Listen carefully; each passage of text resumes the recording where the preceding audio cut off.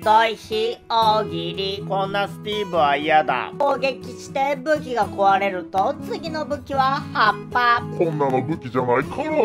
葉っぱで強めに撫でてみましょう。撫でてもダメージ与えれないよ。こんなスティーブは嫌だ。ダイヤの装備作れたらダメージ食らわない。強すぎでしょうが。しかもダイヤ一つで全部装備できちゃう。強すぎでしょうが。こんなスティーブは嫌だ。戦わなくてもお腹が空いてすぐダメージ食らう。弱すぎでしょうが。勝手にやられるからスティーブと誰も戦わない。悲しいキャラだな。こんなスティーブは嫌だ。必殺技の時にゾンビ肉食べて自分もやられる。こんなんじゃ必殺技やりたくないよ。なんなら自分の方がダメージ食らう。自分必殺してどうすんだよ。チャンネル登録よろしくお願いします